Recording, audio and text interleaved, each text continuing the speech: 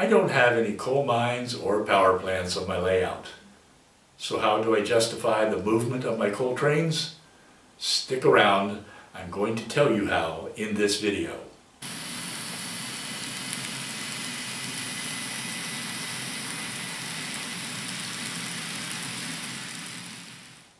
Hi everyone, I'm Roy Smith. In this video I'm going to talk about the movement of coal trains on my layout. I'll do this by asking and answering a series of seven questions as if you submitted the questions to me.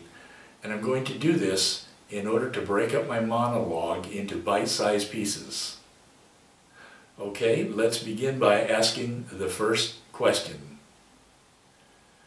You often hear the terms empties in and loads out when talking about the movement of coal trains on a layout. What do the terms empties in and loads out mean? Model railroaders often put coal mines and power plants on their layouts.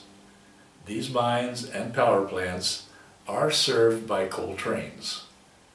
Empty coal trains are brought to a mine for loading, and loaded coal trains are brought to a power plant for unloading. Sometimes these coal mines and power plants are placed on opposite sides of a mountain or scenic divider to create the illusion of empties in and loads out. To create this illusion, loaded coal cars enter a power plant, pass through the mountain or backdrop, and then emerge on the other side as loaded coal cars at the mine. Meanwhile, empties go under the tipple at the mine and reappear on the other side as empties at the power plant. This technique was effectively modeled for the first time in N-scale on model railroaders Clinch, Clinchfield layout back in 1978. On that layout, an industrial spur went to a power plant as you see depicted here. From the power plant, hidden tracks connected to a coal mine on the other side of the hill. Empties and loads moved in opposite directions at the same time. Do you remember this Clinchfield layout? I certainly remember it. It had a big influence on an N-scale layout I built in the 1980s. Empties in and loads out can be an effective way to create the illusion that industries on a layout are being served by coal trains. Okay, next question. You don't have any coal mines or power plants on your layout, so how does the movement of coal trains work? Here's how. My main line is a continuous loop folded over on itself, and it is double tracked just like the prototype loaded coal trains run westbound and empty coal trains run eastbound. These coal trains serve imaginary industries that are located off layout. It's a very simple process. Let me show you on a simple version of my track plan which depicts the scenic portion of my layout. Trains wait in the staging yard which is located under Green River. Then they enter the scenic portion of the layout, cross the layout, and re-enter the staging yard at the opposite end of the scenic portion of the layout. This creates the illusion that these trains are going from someplace to someplace to serve industries which are located off layout. It's a sleight of hand. Next, you mentioned your staging yard what is a staging yard? A staging yard is a section of the layout where trains stay until they are needed for operations on the layout. In effect, they are off layout as long as they remain in the staging yard. Typically, a staging yard is not scenic. It can be constructed under the layout as mine is, or off to one side, or even in a separate room connected to the layout through a hole in the wall. Think of the scenic part of a layout as a theater stage. Trains are the actors and they wait off stage in the staging area until they get their cue to come onto the layout. This is my staging yard it includes three stub-ended tracks representing Cheyenne, Wyoming to the east, and three stub-ended tracks representing Ogden, Utah to the west. In addition, there are two diesel storage tracks. My coal trains run on the two center tracks, which allow for continuous running. These two center tracks are critical to the movement of coal trains on my layout. Altogether, my staging track is 12 feet long the upper and lower levels are separated by a clearance of 8 inches, and the two levels are connected by a helix at each end of the layout. Uh, by the way, I plan to convert those stub-ended tracks into double-ended tracks in the future, but that's a subject for a different video. All of this works just fine for me because indust industrial switching isn't very important on my layout. I am far more interested in yard classification, interchange operations, and running unit trains. Okay. What are unit trains? My layout is a modern era layout, so trains run as unit trains. Uh, for that matter, so do my tank car trains and my covered hopper trains. My unit coal trains run what seems to be very long distances all the way from an imaginary coal mine or power plant somewhere off layout without any need to classify or switch out the cars in a yard along the way.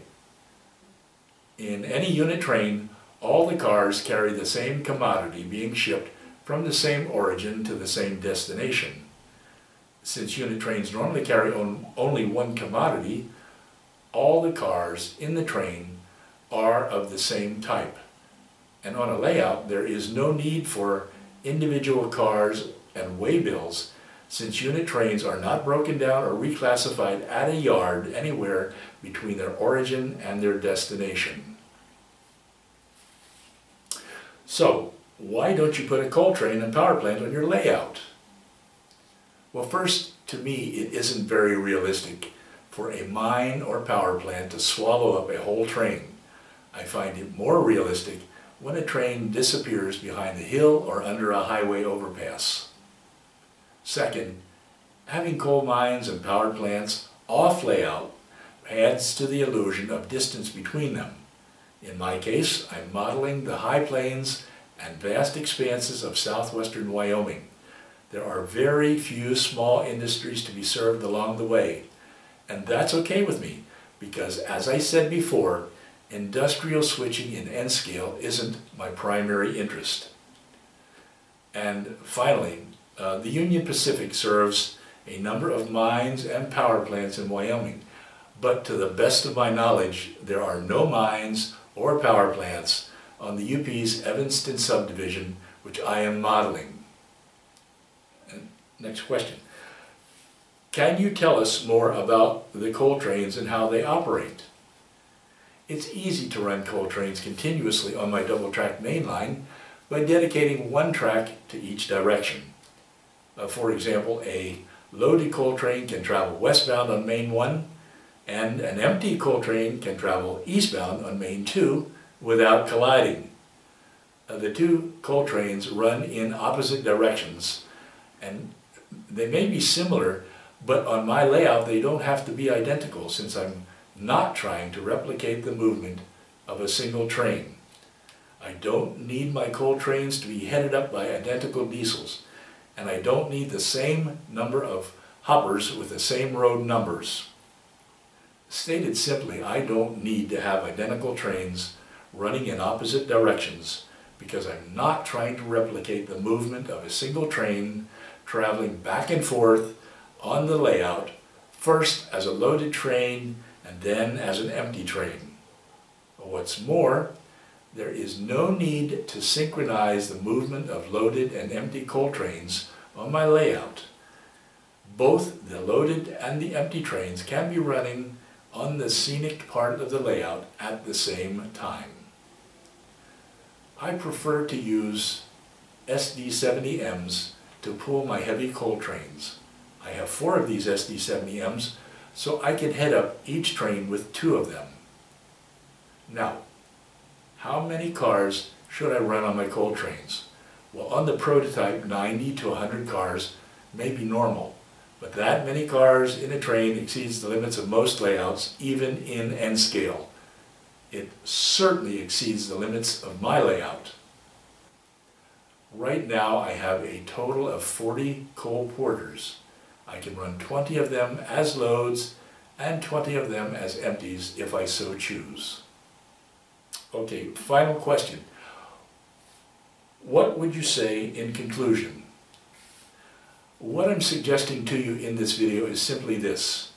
You can have coal mines and power plants on your layout if you want to, but you don't have to have them in order to run coal trains. You can run loaded coal trains in one direction and empty coal trains in the opposite direction, and a staging yard creates the illusion of trains moving to or from destinations off layout. Okay, I'm going to stop right there.